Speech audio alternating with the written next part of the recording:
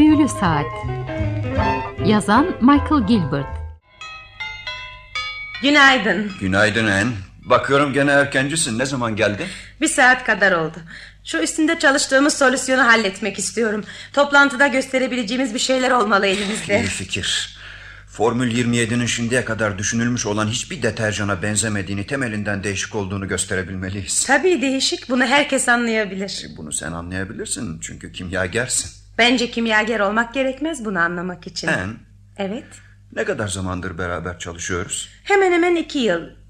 İki yıldır senin laboratuvar asistanlığını yapıyor. Deney tüplerini çalkalıyorum. Öyle olmadığını biliyorsun. Farkında mısın ki sen gelmeden hiçbir şeye teşebbüs etmeden, hiçbir şey başaramadan gayetsiz dolaşıp duruyordum. Sonra sen çıka geldin ve Formül 27 doğdu. mesele yalnız deterjan değil. O sadece yarım düzine şeyden bir tanesi. Önemli olan senin üzerimdeki olağanüstü etkin. Adeta kimyevi bir etki bu. Kimyevi mi? İki gelişi güzel görünüşlü sıvı al. Mesela alkolle nitrik asit. İkisi de kendi kendine gayet sakindir ama bir araya getir. Nitrik asite benzetilmek bir genç kız için hoş bir şey olmasa gerek. Yoksa ben alkol müyüm? Ne olduğunu bilmiyorum. Fakat şu var ki sen buradayken düşünebiliyorum. Sen yokken beynim uykuya dalıyor adeta. Sen... Sanırım işimize devam etmemiz gerekiyor. Evet Mr. Rees. Ee, alkolü buharlaşma derecesinden 10 derece eksiğine kadar ısıtırsak solüsyonu tutacak gibi geliyor bana. Evet. Mrs. Derby. Efendim Mrs. Rees? E, holdeyim gelir misiniz? Geldiğinizi duymadım. Ne güzel bir gün değil mi? Öyle mi? Henüz yağmur yağmıyor. Miss Derby. Siz her zaman bana gerçeği söylersiniz. Söylesenize bana. Hissettiğim kadar fena mı görünüyorum? Hı hı. Çünkü kendimi 95 yaşında ve bunun 15 yılında ölü olarak geçirmiş gibi hissediyorum. Böyle konuşmamalısınız. Niçin berbere gidip saçınızı yaptırmıyorsunuz? Ben ne zaman kendimi iyi hissetmezsem berbere saçıma güzel bir şekil verdirtirim. Kahve ister misiniz? Aramızdaki fark bu zaten Mrs. Derby. Sizin paranız var benim yok. Kahveniz? Masanın üstüne bırakın lütfen. Günaydın sevgilim. Ne güzel bir sabah değil mi? Öyle mi dersin? E, kalktığımda öyleydi. E, şimdi yağmur geliyor gibi. Elindeki nedir? Kimyevi bir bileşim. Oh, kedinin kahvaltısı gibi kokuyor. Allah aşkına kahvemden uzak tut. Peki. Sen gelip şu kimyevi nesnelerini burnumun dibinde tutmadan da başım yeteri kadar ağrıyor zaten. Dün gece iyi uyudun mu? Of, berbat bir geceydi. E, Sen de geç mi yattın? Hala yatma saatim seni ilgilendiriyorsa 11'de yattım. Ama biliyorsun sen gelene kadar ışığı söndürmem. Seni uykusuz bıraktığım için özür dilerim. Satış konferansı nasıl geçti? Çok iyi. Birçok kısmı benimle ilgili değildi. Bir köşede oturup dinledim. Niye orada bulunman gerektiğini anlamıyorum. Satış memuru değilsin ki. Hayır ama Mr. Blackman bütün idarecilerin bu konferansa katılmasını istiyor. Bu firmayla vaktini harcıyorsun. Bilmem. Bir hademenin aldığı parayı veriyorlar sana. Sana aylık vermelerinin tek nedeni de bir şeyler icat edip onlara milyonlar kazandırman. Haksızlık etmeyelim İlda. Kirayı, elektrik parasını, kasaba bakkala... Hele bakkala bu parayı veriyoruz. Ne demek istiyorsun? Hele bakkala ne demek? Her hafta en fazla para bakkala ödeniyor da onun için. Ha, devam et devam et. Benim içkilerim yüzünden böyle olduğunu, ayyaş olduğumu söyle. Hadi durma. Böyle bir şey söylemedim. 15 günde bir bir şişe viski alıyorum. Ve kendimi çok fena hissedince içiyorum. Sırf bunun için ayyaş olduğumu söyleyebilir misin? Ha? Sevgilim. Bütün gün viski içip oturduğumu sanıyorsun. Bu evi kim temizliyor? Yemekleri kim pişiriyor? Sevgilim bağırman başının ağrısını arttırmaktan başka işe yaramıyor. Oh! Deney yaptım. Solüsyon... Bir şey mi var? Hayır. Bir şey mi olmalıydı? Sandım ki... Bir şey yok. Hadi şimdi pis kokulu kimya laboratuvarınıza dönün. Sen de çağırız. Ben toplantı için odayı hazırlayayım. Nasıl olsa yapacak bir işim yok öyle değil mi? Tek başınızda yapabilir misiniz? Ne demek istiyorsunuz? Sakat değilim çok şükür. Gerekirse Mrs. Turvey yardım eder bana. Mr. Schofield ne zaman geliyor? Toplantının 11.30'da olmasını kararlaştırmıştık. 10 dakika sonra. Biz siz yapabileceğine eminsen gidelim. Çünkü çok enteresan bir noktaya geldik. O halde devam edin. Çok enteresan bir nokta. Çok enteresan bir nokta. Çok enteresan. Oh, of ayağım. Of ayağımı fena çarptım. Uf, telefon sehpası da kırıldı. Mrs. Turvey. Mrs. Turvey. Bak ne oldu? Oo, sehpanın ayakları kırılmış galiba. Eski bir sehpaydı zaten. Evlenirken damadın amcası hediye etmişti. Aa, Parçaları alıp götürün. Telefonu da şu eski yerine koyalım. Aa, Kimse değişikliği fark etmez eminim. Size bir şey olmadı ya. Yok bir şey. Biliyor musunuz Miss Turvey? Bazen düşünüyorum da hayatta tek dostum sizsiniz galiba. Bana güvenin. Kimsenin sizi üzmesine izin vermeyeceğim. Gidip kapıyı açayım. Günaydın Mr. Scofield. Sizi bekliyorlar. Buyurun buraya buyurun. Günaydın. Antrede bırak eşyalarını. İyi yağıyor değil mi? Bardaktan boşanırcasına. Şemsiyemi de dışarıda bırakayım ıslatacak burasını. İngiltere'de yaşanırsa böyle olur. Günaydın Miss Patton. Günaydın Mr. Scofield. Ceketinizle alayım. Ben de sizinkini alayım. Yoksa toplantımıza böyle morg bekçisi gibi beyaz önlükle mi katılmaya niyetlisiniz? Öyle ya ben de ceketimi çıkarayım. Ee, verin Miss Patton. Sizinkini de alayım. Ee, işler nasıl? Size çok güzel haberlerim var. Günaydın Mrs. Rees. Pek aydınlık bir gün olmasa da günaydın Mr. Scofield. Gerçekten çok kötü bir hava. Sonra bu Londra'da ilk yağmur damlası düşer düşmez son taksi ortadan kayboluyor. Burada olduğumuza göre başlayabiliriz. Ayda bir kurul toplantılarında vakit kaybetmeyi aldırmıyorum. Fakat yapılacak işlerim var. Böyle bir ev kendi kendine yürümez. Muhakkak. Ee, siz toplantıya başkanlık eder misiniz Mr. Rees? Güzel. Ee, sekreterimiz karar defterini hazırladı mı? Çok iyi. Çok iyi. Başlayabiliriz. Sekreter hanım geçen toplantının kararını okuyun lütfen. Pek muntazam yazamadım ama. Zarar yok canım ne varsa onu okuyun. Ee, Rees Enterprise Limited şirketinin kurul toplantısı 19 Hayır özür dilerim yazımı okuyamıyorum 17 Eylül Salı günü yapılmıştır Toplantıya katılanlar Mr. Scofield, Mr. Charles Rees, Mrs. Rees ve Miss Patton Mr. Scofield şirket tarafından imal edilmiş olan yeni kokusuz ve şu anda Formül 27 olarak tanımlanan formülün özelliklerini ve patent kaydını yaptırdığını bildirmiştir. Hepsi bu kadar. Gayet güzel hazırlamışsınız. Öğreniyorum henüz. Bütün konuşulanlar bu kadar mı? Hatırlayabildiklerim bu kadar. Bu kadarcık konuşma bir saat mi sürdü? E, imzalayayım mı? Evet. Evet. Evet. İşte imzaladı. evet. Şimdi sizi dinliyoruz Mr. Scofield. Epey havadisim var ve hepsi de bence çok iyi havadis. Önce patentimizi aldık, resmi adımızı kabul ettik. Bugünden sonra şirketin yeni imalatından Formül 27 olarak değil, Miraclean olarak bahsedeceğiz. Patent numarasının hatırlanması da çok kolay. 40 bin. Bu çok büyük bir şans. Bir dakika erken gitmiş olsaydınız 39.999 olacak. Hatırlanması çok güçleşecekti.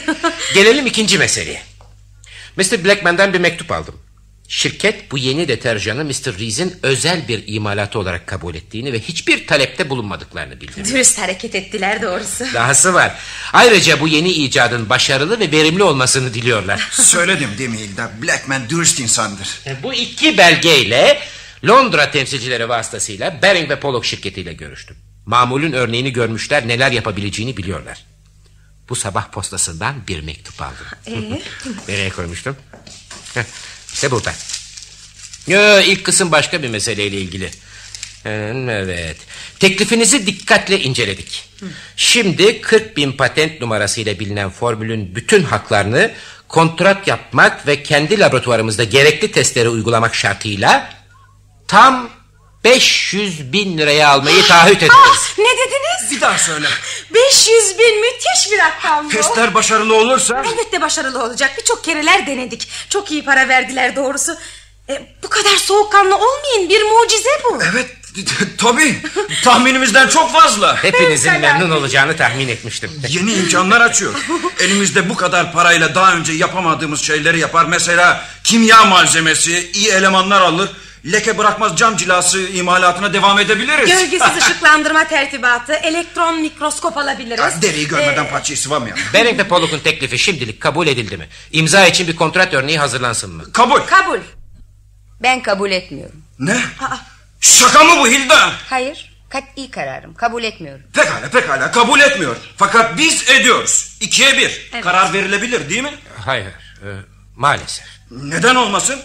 Çoğunluk esasına göredir. Bu bir kurul toplantısı değil mi? Öyle kabul ediyoruz. O halde hepimize sahip olduğumuz hakları açıklayın lütfen. Önce Miss Patton'ın oy hakkı olup olmadığını öğrenmek istiyorum. Ee, hayır. Korkarım yok. Neden olmasın? Hissedar değil miyim? Şirket kurulurken Mr. Reese hisselerinden birini bana verdi. Fakat bu bir hissedarlar toplantısı değil, kurul toplantısıdır. Sadece direktörlerin oy yetkisi vardır. Sekreterler? Sekreterlerin yoktur. Özür dilerim. Bu da böylece açıklanmış oldu. Bu icadın şirkete ait olduğu ve şirket müdürleri tasdik etmedikçe satış yapılamayacağı anlaşıldı sanırım. Yegane müdürler de Charles'la benim. Öyle. Anlaşamadığımızı düşünelim. Birimiz tasdik ediyor, diğerimiz etmiyor. Teklif kabul edilmez her şey olduğu gibi kalır. Sizi direktör seçersek ikiye bir oy olur. Evet fakat direktör seçimi için hissedarlar çoğunluğu gereklidir. Çok güzel. Neden daha önce söylemediniz? Enle ben işte hissedarların çoğunluğu. Direktör seçildiniz gitti. Sayıca çoğunluk değil. Hisse senedi dikkate alınır. Siz hisselerinizden birini Miss Patton'a verdiniz. 49 hisseniz kaldı. Oysa Mrs. Reese'in 50 hissesi var. Fakat bu çok saçma. Bu icat, bu şirket benimdir. Bu işi ben yaptım. Bütün parayı ben yatırdım. Hilda, orada nasıl bütün yaptıklarından memnun oturabiliyorsun? Bunu sırf huzur bozmak için yaptığının farkındasın. Fevkalade bir teklif. Düşündüğümüzden kat kat fazla. Büyük para bu bizim için. Araba, elbiseler alabileceğimiz, tatil yapabileceğimiz kadar fazla. Demin bunlardan pek bahsedilmiyordu.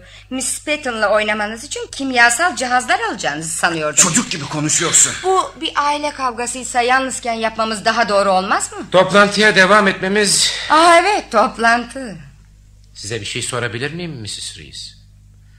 Bering ve Pollock'un teklifini neden kabul etmek istemiyorsunuz? 500 bini yeterli bulmuyorum. Saçma! Yaptığım bu çeşit pazarlıklara dayanarak çok iyi bir teklif olduğunu söyleyebilirim. Siz bu işten yüzde kaç alıyorsunuz Mr. Scofield? Sözünüzü geri almanızı rica edeceğim. Sadece bir şakaydı. Fakat hala daha fazla alabileceğimizi tahmin ediyorum. Catside Garner şirketiyle temas ettiniz mi? Hayır, Bering'in teklifini tatmin edici bulunca onlara müracaat etmedim. Eh, rakip firmalardan teklif almadığınıza göre 500 binin uygun fiyat olduğunu nereden bilebilirsiniz? Catside Garner çok küçük bir şirkettir. Herhalde yüzlerden bahsedecekler. Bu şirkette müdür olmadığınızı, görevinizin sadece not almak olduğunu yeniden hatırlatmak mı gerekiyor? Eh, Sözümü kestikleri zaman Catside Garner'dan bahsediyorduk. Onlar daha iyi bir teklifte bulunurlarsa Bering'lerden tekrar teklif ister. Böylece fiyatı 1 milyona kadar çıkartabiliriz. Bu meseleye karışma Hilda. İşi Mr. Scofield'e bırak. Hiçbir şey yapamaz mıyız Mr. Scofield? Korkarım hiçbir şey.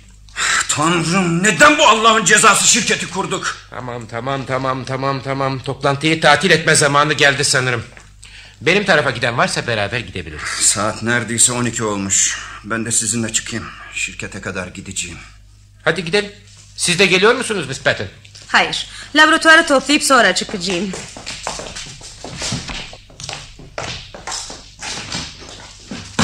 Ah, bir dakika gitmeyin. Etrafı toplamam gerek. Eh, Buraya gelin ve oturun. Neden öyle ters ters bakıyorsunuz? Biraz önce hayatınızın en büyük hatasını yaptınız. Ah, beni iki sene evveline kadar tanımadığınıza göre... ...bütün hayatımı nereden bilebilirsiniz? Bu icat için şahane bir teklifi reddettiniz. Ve çok kötü bir nedenle reddettiniz. Neymiş bu neden? Kin ve bir çeşit kuvvet kompleksi. Vay vay. Kimyager olduğumuz kadar ruh doktoruyuz da. E şimdi size bir soru. Kocamın ve benim olan bir icat sizin için bu kadar ilgilendiriyor? Sizin olduğunu kabul edemeyeceğim. Kimin o halde? Sizin mi? Yüzde ellisi. Madem ki sordunuz. Şişeleri yıkayarak mı oldu bu iş? Bana hakaret etmek gerçekleri değiştirmez. Kocanıza sorun size doğruyu söyleyecek. Hmm, sırası gelmişken dün geceki yemek iyi geçti mi? Neden bahsediyorsunuz? Ah, çok mu kapalı konuştum? İskandinav lokantasında kocamla yediğiniz yemekten. Evet. Teşekkür ederim. Çok iyi geçti. Geç saatlere kadar çalışmış ve ikimiz de çok acıkmıştık. Oh, tabii tabii. Çalışmak her zaman insanları acıktırır. Eve dönerken takside işe devam ettiniz mi? Yoksa o zamana kadar açlığınız tatmin olmuş muydu? Neler söylediğinizi anlayamıyorum. O halde düşündüğümden çok daha aptalsınız. O pis ellerinizle kocamı yakaladınız. Taksiye parkın etrafında dönmesini siz mi söylediniz yoksa kocam mı? Herhalde başka bir taksiyi takip ediyordunuz. Yok canım. Niçin kendimi sıkıntıya sokayım? Dedektif tutmak çok daha kolay. Anlıyorum. Peki sonra üçüncü kattaki daireye çıkınca ne oldu? Maalesef adamın pencereden görememiş. Yandaki evin damına çıkmak istemişse de geç kalmış. Pencereden bakabilseydi kakao pişirip içmekten başka bir şey yapmadığımızı görürdü. Oh, yarım saatiniz ziyan olmuş. E, sizin bakımınızdan tabii. İstediğiniz şekilde düşünebilirsiniz. Kötü düşünceliyseniz benim elimden hiçbir şey gelmez. Benim değil mahkemenin de aynı şekilde düşüneceği önemli olan. Yargıçlar aptal değildir. Bir erkekle bir kadının kakao içerek yarım saat beraber olmalarından daha tabii ne olabilir? Suçlu olmasaydınız bu kadar sakin olabilir miydiniz? Ya ne yapmalıydım? Acaba bağırıp çağırıp saçımı başımı mı yolmalıydım? Tıpkı siz... Tıpkı benim gibi değil mi? Çekinmeyin söyleyin. Madem ki ısrar ediyorsunuz. Sizin hissi sahneler yaratmaya meraklı olduğunuz muhakkak. Bilhassa kocanıza istediğinizi yaptırmak istediğiniz zamanlar. Bütün bunlar sizin için ilgilendiriyor. İlmi ilham kaynağı olduğunuz için üzerinde hak mı iddia ediyorsunuz? Ona nasıl davranmam gerektiğini sizden mi öğreneceğim? Müthiş icadın geliriyle balayını nasıl geçireceğinizi mi kararlaştırdınız? Bu yüzden mi 500 bin liranın üstünde bu kadar duruyorsunuz? Saçmalıyorsunuz. Fakat şunu unutmayın ki ben hayatta oldukça ne Charles ne de 500 bin liraya sahip olamayacaksınız. Anlıyor musunuz? Anlıyor musunuz? Asla boşanmayacağım. Biraz daha bağırırsanız sokağın yarısı anlayacak zaten. Bitirdinizse şimdi biraz ben konuşayım. Boşanmanız için tek sebep bu mu acaba? Bu sabah bu odaya ilk ben girdim. Bir gece önce burada bir parti varmış gibiydi. İki kirli bardak yıkadım onları. Sigara izmaritleriyle dolu bir tabla. İki değişik sigara içilmişti. Üzerinde ruj iziyle Players ve ruj izi olmayan Maryland sigaraları. Eğer kocanız arkasını döner dönmez sevgilinizi eğlendirmeye koşuyorsanız... ...sonradan ortalığı temizlemek daha akıllıca bir iş olmaz? Sen... Sen... Mrs. Derby!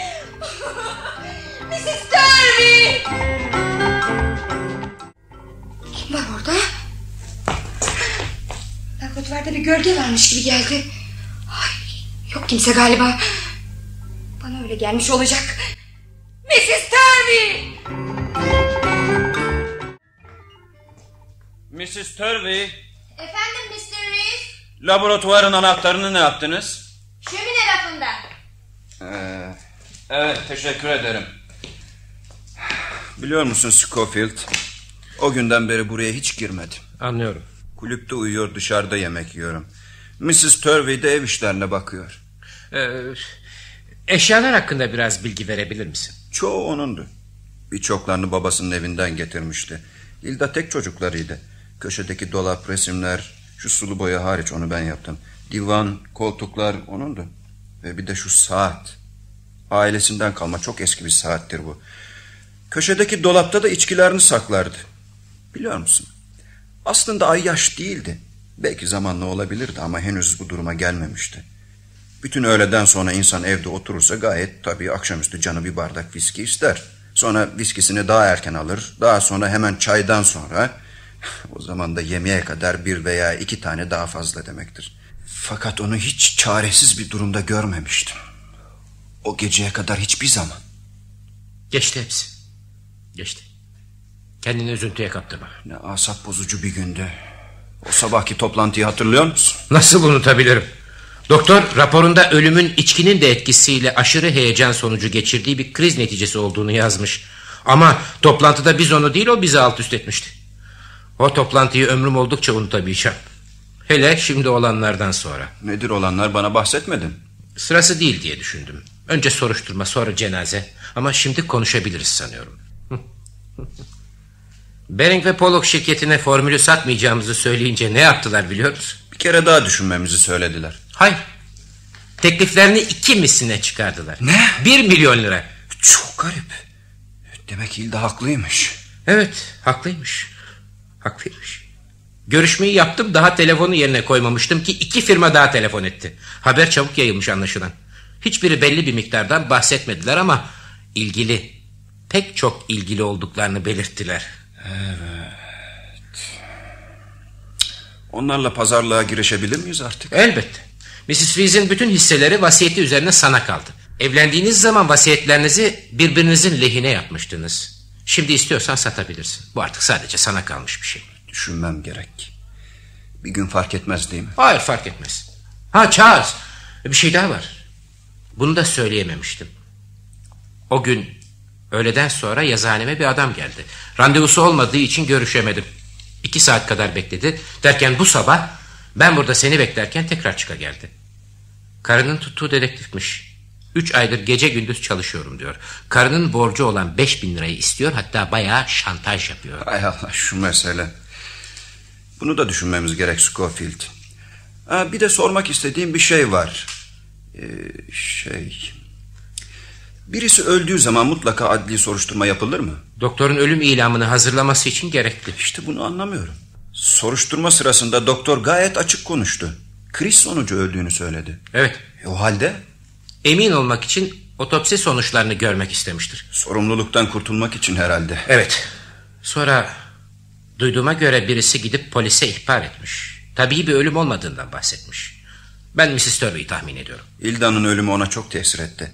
Aynı gün saatin dörtte durmuş olması da ona çok garip görünüyor. Hilda onun kafasını bir takım batıl inançlarla doldurmuştu. Onun ihbar etmesi gayet normaldir. Şimdi benim çıkmam gerek Scofield. Birazdan döneceğim. Ee, Sen kalabilirsin.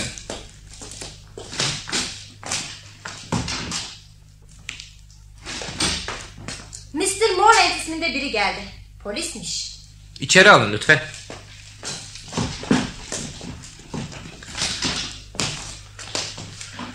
Buyurun sayın müfettiş. Mr. Rees evde yok. İnşallah ben size yardımcı olabilirim. Ee, oturmaz mısınız? Mersi. Laboratuvar burası mı? Girebilir miyim? Oo, demek orada yapıyorlar bütün bu işleri. Mr. Rees'in laboratuvarı. Çok başarılı bir kimyagerdir. Çok para kazanıyor mu? Ee, şimdi çok para getirecek bir formülü var. Evet size sormak istediğim şeylerden biri de bu zaten. Kusura bakmayın sayın müfettiş. Fakat acaba bunları Mr. Rees'e ve bana sormaya hakkınız var mı? Ben sorarım. Cevaplandırmak zorunda değilsiniz. Belki fazla anlayışsızım. Cinayet mi işlendi? Bir kadın öldü. Daha ne istiyorsunuz? Soruşturma kapandı. Tabii bir şekilde olduğu anlaşıldı. Dün de gömüldü. Soruşturma kapanmış olabilir. Fakat benim dosyam hala açık. Sizin dosyanızda ne olarak gösterilmiş? Tabii ölüm, cinayet. İsimlendirmek için henüz biraz erken değil mi? Ee, Siz Mr. Rees'in avukatı olduğunuza göre öğrenmek istediklerimi bana söyleyebilirsiniz. İlk soru şu. Mirası kime kalıyor? Mrs. Rees meteliksiz öldü. Emin misiniz? Hiçbir şirkette hissesi falan yok muydu? Hı? Evet. Mrs. Rees kocasının şirketinin bazı hisse senetlerine sahipti. Hı, laboratuvarın ışığı yandı. İçeride birisi mi var acaba? E, Miss Patton olmalı. E, Mr. Rees'e laboratuvarda yardım eder. Evet biliyorum. Buraya çağıralım. Bana yardımcı olabilir. Sanmam. Hiç belli olmaz. Genç kızların gözleri iyi görür, kulakları iyi işitir. Ee, Miss Patton. Buyurun. Biraz gelir misiniz? Emniyet müfettişi Mr. Morgan size bazı şeyler sormak istiyor. Mrs. Rees'in ölümüyle ilgili. Ee, siz e, Mr. Rees'in e, ne denilir ona canım? Şey, e, evet Mr. Rees'in... Evet bakalım ne diye isimlendireceksiniz. Bayağı sabırsızlanıyorum. Tamam laboratuvar arkadaşı. Laboratuvar asistanı. Şimdi sizden yardım istediğimiz husus şu. Elimde ölüme ait raporun bir kopyası var. Rapor verildi hiçbir şey bulunamadı. O, o ilk raporda bakalım. Evet okumak istediğim kısım evet evet. Tamam burası burası. İlk analizde midede oldukça şiddetli bir zehirlenmeye sebep olacak dörtte bir veya yarım şişe nispetinde saf viski teşhis edilmişti. Doktorların kullandığı ferahlatıcı cümleler bunlar değil mi? E, Bu da doktorun ölümün alkolün de etkilediği asabi bir kriz nedeniyle meydana geldiği tezini doğrulamaktaydı. Fakat gel gelelim e, ben viskinin ilk analizde görüldüğü derecede saf olmadığı kanısında olduğumdan bir kısmını ayırarak o, neydi o siz bilirsiniz o tit, tit, Titrasyon. Ha, tamam tamam titrasyon titrasyon. Evet titrasyona tabi tuttum. Belirli bir şey elde edemedim. Örneği bu sefer de o kağıdı kağıt ne? Kağıt ne? kromatografisi. Aa, evet evet öyle olsa gerek. Evet bakayım okuyalım şuradan rapordan analizini yaptırdık ve bunun neticesi billurlar halinde bir zerrenin sekizde biri nispetinde klorozolidin bulmayı başardım. Ne dediniz? Nasıl? Size bir şey ifade ediyor mu? Bana mı? Ee, şey korktum birdenbire. Klorozolidin. Bu sizin deterjan değil mi? Evet içindeki maddelerden biri. Ve zehirli değil mi? Evet sanırım. Sanırım zehirli. Yeterli miktarlarda tabii. Üç zerrecik yeter mi? Bilmiyorum bu konuda fikrim yok. Dinleyin o halde. Evet. Bu dozla meydana gelen arazlar ciddi bir beyin arazı meydana getirebilir. Ölüme götüren koma ve arkasından kısmi felç. Şimdi bu nesnenin viskinin içine nasıl girdiğini bulmamız gerek. Bu imkansız bir şey. Aklımızı kullanırsak bazı şeyleri bulabiliriz. Klorozolidinin viskinin içine girmesine imkan yok. Çünkü ortada bırakılacak bir şey değil. Sıkı sıkı kilitli. Nerede? Laboratuvardaki çelik dolapta. Kilitlediğinize göre zehirli olduğunu biliyordunuz. Tabii. Fakat İlk sorduğumda şüpheliydiniz de. şüpheli değildim. Biraz şaşırmıştım. Öyle kalın öyle kalın. Şaşkın halinizi doğrusu tercih ederim. Şimdi sakladığınız yeri gösterin.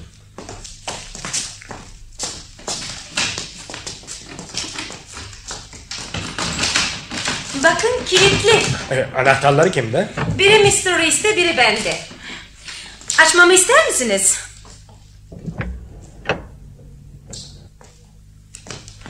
E, Klorozolidin için bu kadar yeter. Şimdi gelelim viskiye. O da köşedeki dolapta. O da kilitli. Anahtarı nerede? Mrs. Reese'de. Mrs. Reese'de bulunurdu anahtarları. Nerede saklardı? Kimse bilmezdi. Üzerinde mi taşırdı? Hayır. Epeyce büyük bir anahtardı. Hep sakladığı yerleri değiştirirdi. Sebebi neydi? Yıllar önce bir hizmetçisini viski içerken yakalamış. Şimdiye kadar hiç kimse anahtarı nereye sakladığını keşfedemedi mi? Bir kere perdenin arkasına tuttururken yakaladım. Yerini hemen değiştirdi. Viskisini çalacağınızı mı düşündü acaba? Viski için benden şüphelenmiş olabileceğini sanmam. Sizden niçin şüphelenebilirdi? Ne? Ee, ne demek istediğinizi anlayamadım. Acaba kocasını çalacağınızdan şüphelenebilir miydi? Ama... Ama nasıl böyle bir şey Böyle söyle... konuşmaya hakkınız yok. Basit bir soru sordum. Cevabı evetse evet, hayırsa hayır. Fakat etrafa böyle bir şey yaymaya hakkınız yok. Basit bir soru da değil ayrıca. Mesela ben size şöyle bir soru sorsam. Rüşvet aldığınız doğru mu? Hah, miktarına bağlı diye cevap veririm. E, neyse kendinize gelmek için epey vakit buldunuz. Şimdi yeniden deneyelim. Mrs. Rees kocasının size aşık olduğunu düşünür müydü? Düşünmüş olsa bile elinde hiçbir delil yoktu. Oo, siz avukat olmalıymışsınız. Mr. Rees size evlenme teklif etti mi? Aa. Oo, gene parlamayın. E, direkt bir soru bu. Hayır. Veya elinizi tuttu mu? Hayır. O halde Ha gel Charles. O neyin var pek iyi görünmüyorsun. Çok soğuk var dışarıda. Hala burada olduğuna memnun oldum Scofield. ben de sizin gelişinize memnun oldum Mr. Rees. Emniyet müfettişi Morland. Bize bazı sorular sordular. Ee, evet buyurun. Ne hakkında soru sormak istiyorsunuz? Karınız hakkında. 15 gün önce kaybettik. Belki biliyorsunuz. Biliyorum. Ben de bunun için görüşmek istiyorum. O akşam eve gelince olanları anlatır mısınız Mr. Rees? Her zamanki saatte 7.30'da eve geldim. İçeri girdim. Holde durup dinledim. Ev bomboş gibiydi. Mrs. Turvey'in izinli olduğunu biliyordum. Karım da dışarı çıktı zannettim. Gelip burada oturdum. Kapıyı da açık bıraktım. Neden? İyi ki öyle yapmışım çünkü biraz sonra yukarıdan iniltiler duydum. Karımın yatak odasına koştum. Yatağında yatıyordu. İçkili olduğunu anladım. Nasıl anladınız? E, O da viski kokuyordu. Masanın üzerinde de hemen hemen boşalmış bir şişe yerde de bir bardak vardı. Hmm, ne yaptınız peki? E, Mümkün olduğu kadar rahat bir duruma getirdim. Soyup geceliğini giydirdim. Baygın mıydı? Baygın olsa tek başıma yapamazdım. E, Bir çeşit komada gibiydi. Biraz yardımcı oldu giydirirken. Konuştu mu? Konuştu diyemem. E, Mrs. Turvey'i istiyordu galiba. Birkaç kere onun ismini sayıkladı. Sonra bir ara bir şey söyledi. E, Saçma bir şey. Ama kim bilir o mesele onu üzdü herhalde. Nedir o? Saat durdu dedi. Anlayamadığım bir şey var. Ee, niçin hemen doktor çağırmadınız? Eve gelip karınızı alkolden sızmış bir durumda bulsanız doktor mu çağırırsınız? Henüz benim başıma gelmedi. E, Doktorun onu o şekilde görmesini istemedim. Sabaha kadar iyileşeceğini sandım. Sonra ne oldu? Yapabileceğimiz başka bir şey yoktu. Miss Pat'in evine gitti ben yattım. Ertesi sabah hala baygın olduğunu görünce hemen doktor çağırdı. Evet tabii. Ee, içtiği bardak ne oldu? E, Yıkadım. Şişe? Attım. Bir damla viski kalmıştı. İyi etmemişsiniz. Saf viski olup olmadığı meselesi. Midede viski ile karışık klorozolidin bulundu. Öldürücü dozda. Klorozolidin? İmkansız. Doktorun analizinden şüphe etmezsiniz herhalde. Hayır elbette etmiyorum. Fakat klorozolidin viskinin yanında bile bulunması imkansızken içine nasıl girebilir? Bunu anlayamadım. Miss Patton'ın söylediğine göre viski köşedeki dolaptaymış e, ve anahtarı da karınızdaymış. Bir anahtarı da bende var. Ama Miss Patton demişti ki E, ben bir de kendime yaptırmıştım. Yukarıda getireyim mi? "E, biraz sonra biraz sonra. Niçin yaptırmıştınız? Karım daima anahtarı saklıyor sonra da nereye koyduğunu unutuyordu. Buna göre iki dolabı da açabilecek tek kimse sizsiniz. Öyle değil mi? Haksızlık ediyorsunuz. Mrs. Reese'in anahtarı kaybolduğuna göre herhangi birisi bulup dolabı açmış olabilir. Bilmiyorum. Bu sefer gerçekten sokakta falan düşürmüş olabilir. Son günlerde çok unutkan olmuştu. Çok açık veriyorsunuz Mr. Rees. Avukatınızı kızdırıyorsunuz. Özür dilerim. İşinize karışmış olmayayım. Ama bence sonuca ilmi yoldan gitmiyorsunuz. Bir dedektiften daha tutarlı bir soruşturma beklerdim. Gerçekler nedir? Katiyetle bilinen olaylar hangileridir? Tutanak noktalarınız yanlış olursa bunlardan nasıl doğru bir sonuç elde edebilirsiniz? Bütün konuşulanlardan tek bir sonuç çıkıyor. Onu benim öldürmüş olmam. Evet. Fakat ben öldürmedim. O halde bunu bırakıp başka bir çözüm aramak zorundasınız. Atladığınız bir nokta yok mu? Sizin öldürmediğinizi nereden bileceğim? Söylüyorum size. Biraz psikolog olan biri bunu anlar. Önce adam öldürebilecek yaratılışta değilim. İnsan hayatına saygım büyüktür. İlim adamlarının yaratamadığı tek şey odur. Gerçek bir ilim adamı insan hayatını mahvetmez. Hiçbir neden de yok bunu yapmam için. Birbirimize karşı fiziki bir aşk duyduğumuzu söyleyecek değilim. Bir zamanlar belki fakat bu çoktan bitti. Bazen çok asap bozucu olurdu. Fakat sırf sizi rahatsız ettiği için bir insanı öldüremezsiniz. Satmak istediğiniz hisselerinize engel olmamış mıydı? Ha, şu mesele. O sabah gene sinirliydi. Ama bu kadar yıllık karımı tanırım ben. O akşam her şeyi halledeceğimizden emindim. Biraz söylenir ama kabul ederdi. Miss Patton'la gezmenizi de kabul eder miydi acaba? İtiraz ediyorum. Söz, lütfen sözümü kesmeyin. Hiçbir delile dayanmadan bu şekilde konuşmaya hakkınız yok. Bir dakika, bir dakika Scofield. Beni savunduğun için teşekkür ederim. Fakat hiçbir gereği yok. Mr. Morland, madem ki öğrenmek istiyorsunuz söyleyin. Elbette Miss Patty'ni seviyorum. Şimdiye kadar kimseye bahsetmedim. Çünkü ilgilendirmezdi. Fakat aynı şekilde hiç de saklamadım. Evet Mr. Rees. Bir müddet sonra münasip bir zamanda kendisine evlenme teklif edeceğim. Çok açık konuştunuz. Bana söylenecek hiçbir şey kalmıyor. Sadece size ihtar etmeliyim ki... Bir dakika, size bir şey sorabilir miyim? Soruya bağlı. Özel sorunlarım hakkında epey bilgi edinmişsiniz. Merakımı tatmin etmem için bunun kaynağını söyleyebilir misiniz? Bunu yapamam. Acaba Mrs. Turvey Bilgi aldığım kimselerin isimlerini veremem. e, kendi hizmetçimi sorguya çekmeme de engel olamazsınız ya. Mrs. Turvey! Mrs. Turvey! Beni mi istediniz Mr. Rees? Buraya gelin. Kapıyı da kapatın lütfen. Müfettiş Bey'le daha önce konuşmuşsunuz.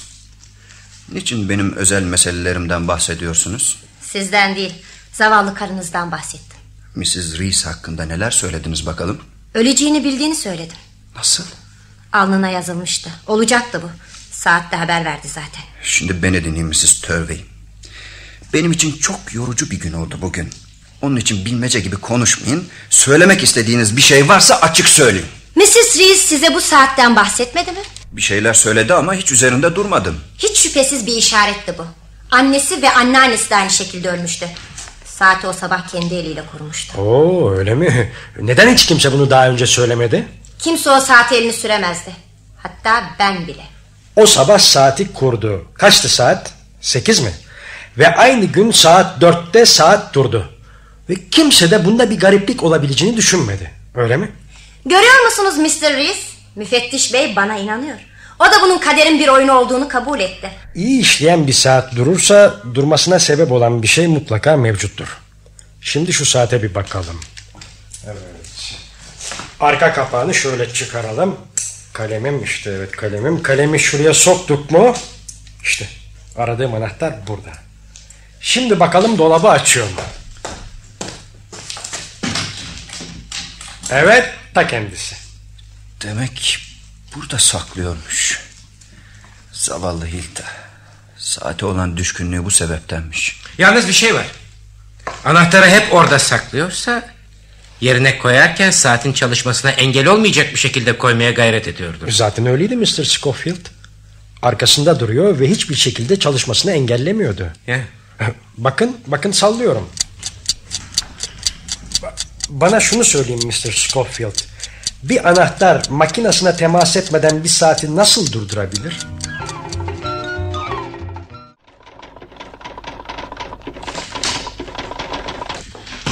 Sorguda bulunmama izin vermediler.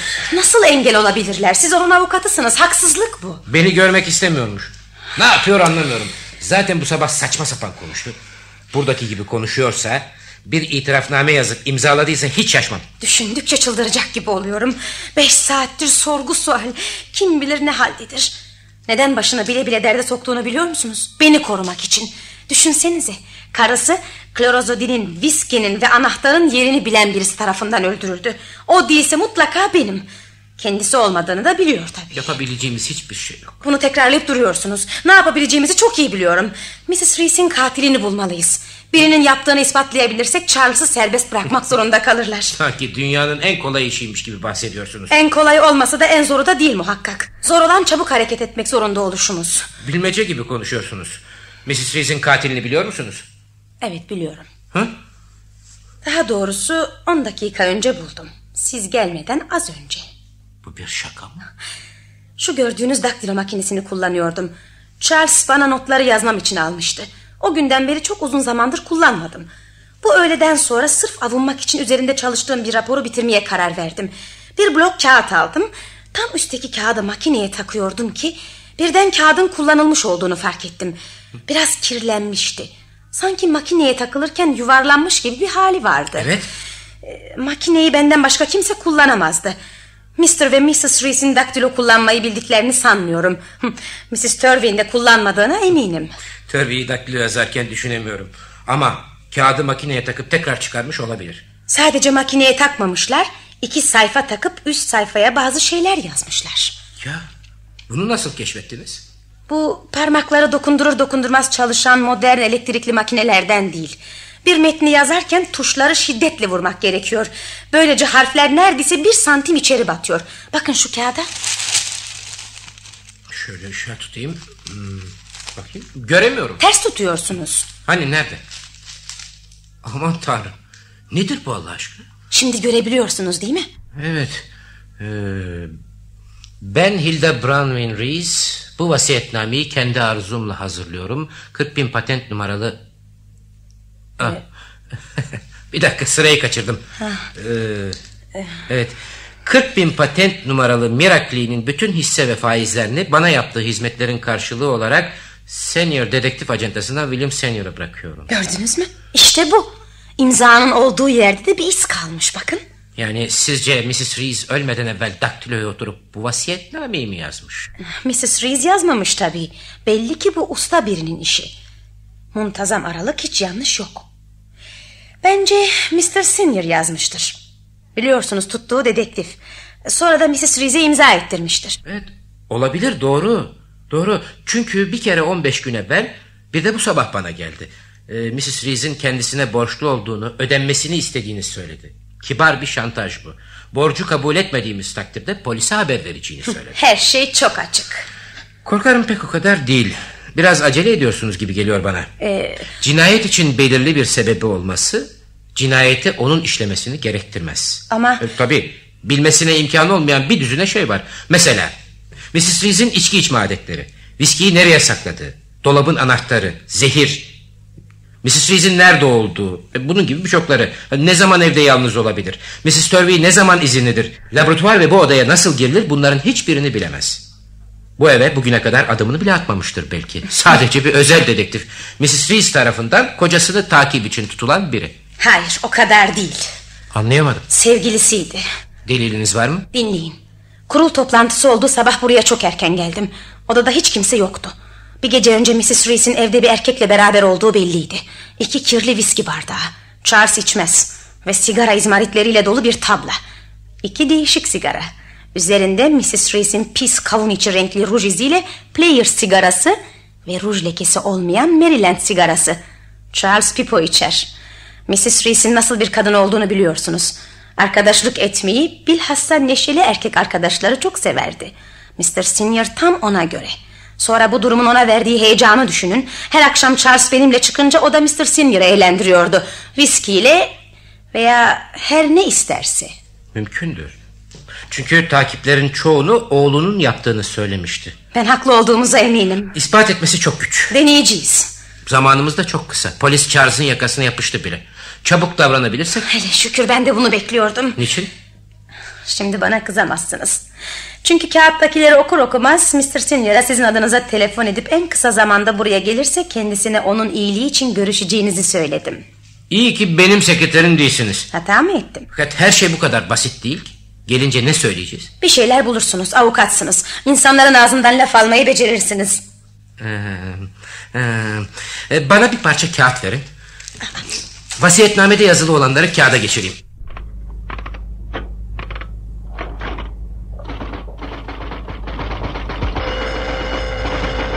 Sanırım geldi, pencereden bakayım. Ta kendisi. Hiç vakit kaybetmedi. Kağıtları kaldırayım mı? Hayır siz başladınız nasıl gelişecek görelim. Hem kendini ele verirse siz de şahitlik edersiniz.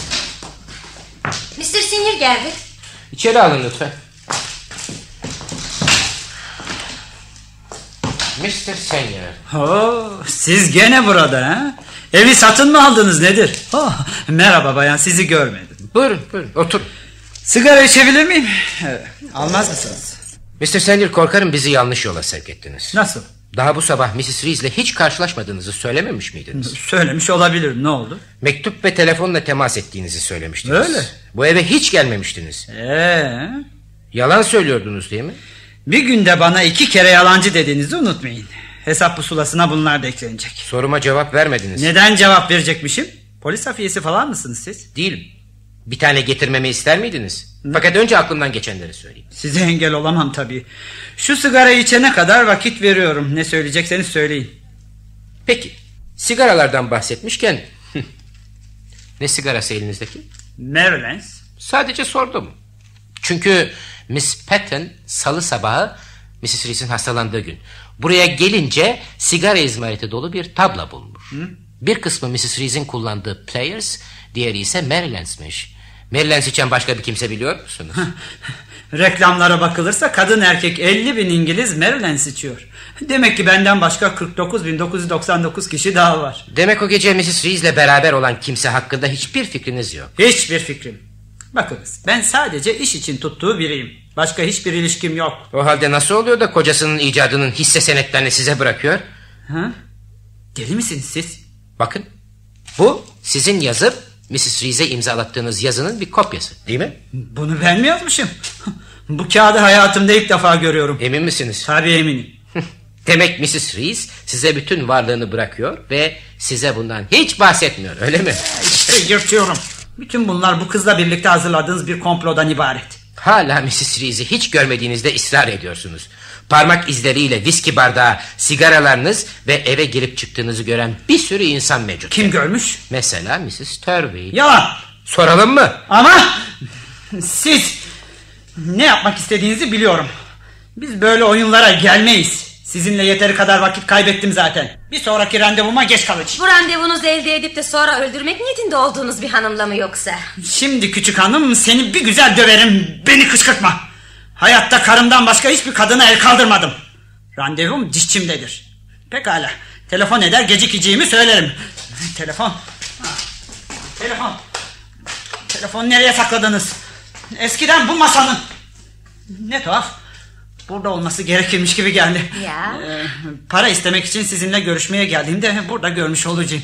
Maalesef bu sabah telefon orada değil.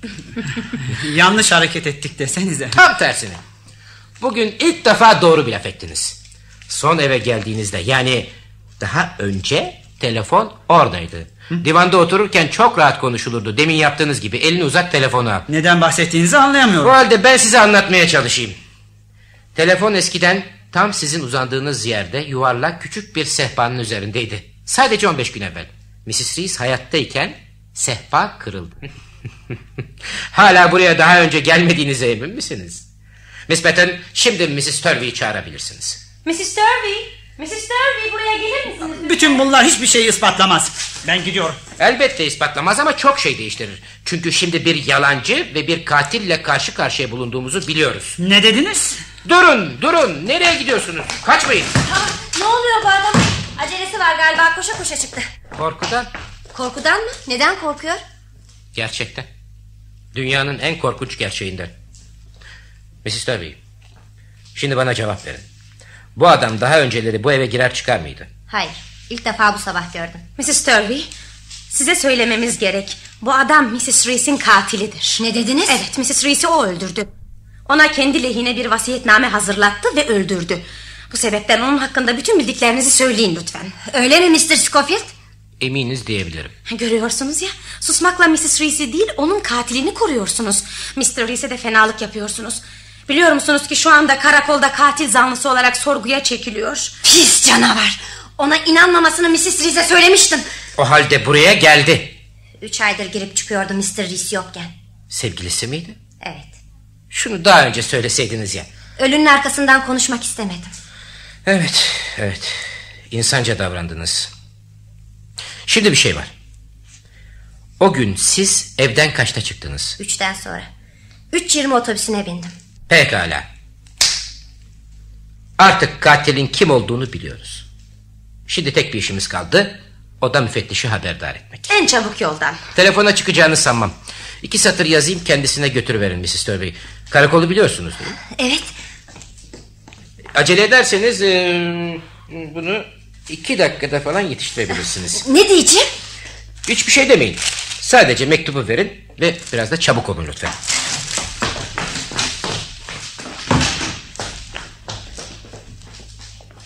Ne yazdınız? Önemli gelişmeler var. Mr. Reese'in katili hemen hemen belli oldu. Derhal gelin dedim. Gelir mi dersiniz? Bilmiyorum. Ama gelirse delillerimizi düzgün bir şekilde sıralamalıyız. Ee, steno yazabilir misiniz? Pratiğim yok ama fazla hızlı söylemezseniz not alabilirim belki. İşte kağıt, işte kalem. Şöyle rahat oturun. Ee, ışık fazla geldi. Biraz karartabilir miyim? Buyurun. Evet. Mr. Senior'ın aleyhine deliller. Özel dedektiftir ve üç ay önce Mrs. Reese tarafından kocasını takip için tutulmuştur. Evet. Fakat kısa bir zamanda bir takip memurundan daha fazla önem kazanarak Mr. Reese'in dışarıda olduğu geceleri Mrs. Reese ile birlikte geçirmeye başladı. Geçirmeye başlamıştır. Sanırım Mr. Reese eve dönme eğilimleri gösterince oğlu telefonla haber veriyordu. Bu da Mr. Senior için emniyetli, eğlenceli. Mrs. Reese içinse kocasının o anda asistanı Miss Patton'la beraber olduğunu bildiğinden tatmin edici oluyordu. Şey bunu yazdırmamın sizce bir mahsuru var mı? Yok. Ne varsa ortaya çıksın artık iyi veya kötü. Ben de aynı fikirdeyim. Devam ediyorum. Evet. Mr. Senior'ın bu eve yabancı olmadığını gösteren deliller pek çok. Mrs. Turvey akşamlarını burada Mrs. Reese ile geçirdiğini itiraf ettiğine göre bunları burada teker teker saymayı gereksiz buluyorum. Evet. Bu görüşmelerin birinde Mrs. Reese'in kendisine kocasının icadındaki hisselerini ki bunlar şimdi bir milyon değerindedir. Bıraktığına dair bir vasiyetname hazırlamıştır. Tamam. Vasiyetnameyi de bu odada yazmış, Mrs. Reese'e imzalatmıştır. Tamam. O sırada içkili olması mümkün. Daha sonra da viskisine klorozolidin katarak zehirlemiştir. Evet. Bir dedektifin kapalı dolapları açmak için pek çok usulleri olabilir. Fakat Tabii. Mrs. Reese'in yakın arkadaşı olduğundan köşedeki içki dolabını açmakta güçlük çekmemiştir. Çünkü anahtarın yerini bilmemesi için hiçbir sebep yoktu. Elbette elbette. Sekreterim benim sözümü kesmekten lütfen vazgeçerler mi? Nerede kaldığımı unutuyorum. Ee, evet. Ee, zehrin viskiye karıştırıldığı saat hepimizce bilinmektedir. Kurul toplantısının olduğu gün öğleden sonra saat dörtte. Çünkü o gün Mrs. Reese yukarıda uyurken ve Mrs. Turvey kardeşini ziyaretteyken içeri gizlice giren şahıs anahtarı saatin içinden almış ve dolabı açmıştır. Fakat yerine koyarken öyle gelişi güzel ve telaşlı koymuştur ki anahtar saati durdurmuştur. Bu nedenle bu sabah emniyet müfettişi anahtarı yerinden aldığı zaman saat yeniden çalışmaya başlamış ve bütün dünyaya zehrin konulduğu saati ilan etmiştir tamam mı? Evet evet. Onu da yazdım. Fakat emniyet müfettişinin belirttiğine göre anahtar saatin çalışmasını engeller bir durumda değilmiş. Nedeni de Mrs. Reese saat 6'da viskisini almak ve odasında içmek üzere aşağıya inmiş. Anahtarı yerine düzgün bir şekilde bıraktığı muhakkak. Bu da önceki tahminlerimizin doğru olduğunu, zehrin saat tam dörtte içkiye karıştırıldığını ispat ediyor. Kimin yaptığını da biliyoruz. Çünkü o saatte herkesin nerede olduğu belli. Mesela... Hızlı mı söylüyorum? Hayır. Hayır. O gün o saatte Mr. Reese işinde. Mrs. Turner hasta kardeşini ziyarette. Ve Mr. Senior da katiplerimin ve benim gözlerimizin önünde yazıhanemin bekleme odasında sakin sakin oturmaktaydı. Demek ki sadece Ben kalıyorum. Bunu demek istiyorsunuz değil mi? bunu yapan Ann Pattins'a fedakarca hislerle yaptığı düşünülebilir. Paranın onu ilgilendirdiğinden şüpheliyim. Fakat Mr. Reese'i deli gibi sevdiğinden hiç şüphe etmiyorum. Mrs. Reese'den nefret ediyordu ve onun kocasını mahvetmesine seyirci kalamazdı. Hepsi tahmin. Mr. Senior'ın aleyhine benden daha fazla delil var. Yarım saat öncesine kadar direkt delil pek azdı. Fakat sonra Miss Patton bir hata yaptı. Cinayeti Mr. Senior'ın üzerine atmak için oturup bir vasiyetname yazdı. Bu vasiyetnamede deterjandan yeni ismiyle Mira Clean olarak ve patent numarasıyla bahsetti. Oysa kurul toplantısında ben açıklayıncaya kadar bunları kimse bilmiyordu. O günse Mr. Senior'ın vasiyetnameyi hazırlaması için artık çok geçti. Farz edelim ki doğru. Biraz önce bencilce nedenlerle yapmadığımı siz söylemiştiniz. Ama dahası var. Charles bir dahidir. İngiltere'de kendi sahasında onunla boy ölçüşebilecek birini düşünemiyorum. Daha hiç kimsenin başlamayı bile düşünemediği sahalarda öyle sonuçlar alıyor ki... Fakat kendi kendine çalışamıyor. Bensiz beyni duruyor sanki. Benimle pozitif, bensiz negatif oluyor. Ben yardım ediyorum bir adım ilerliyoruz. Karısı çıkıyor karşımıza her şeyi baltalıyor. Onu gördünüz tanıdınız. Haklı değil miyim? Lütfen bana arkanızı dönmeyin de cevap verin. Doğru değil mi? Doğru yanlış hakkında karar vermek bana düşmez. Gerçekten böyle düşünüyorsanız, buna inanıyorsanız hiç kimse bilmiyor. Bilmesi de gerekmez. Hislerimle kabul ediyorum mantığımla hayır. Neden? Sizin gibi birine ömrümde ilk defa rastlıyorum. Güzel aynı zamanda çok akıllı. Buz gibi soğuk diğer taraftan cin gibi. Ama asıl beni şaşırtan Charles gibi bir ilim adamının benim gördüğüm şeyi gözden kaçırması. Nedir o? Çok derinlerde, çok gizli bir yerlerde bir eksiklik var sizde. Her şey tamam, çok önemli, çok küçük bir şey eksik. Onu suçlamıyorum, bunu görmeyebilir. Bir dakika evvel ben bile size acıyabilirdim. Bütün hukuki inanışlarımı, aklı selimimi bir tarafa atabilirdim.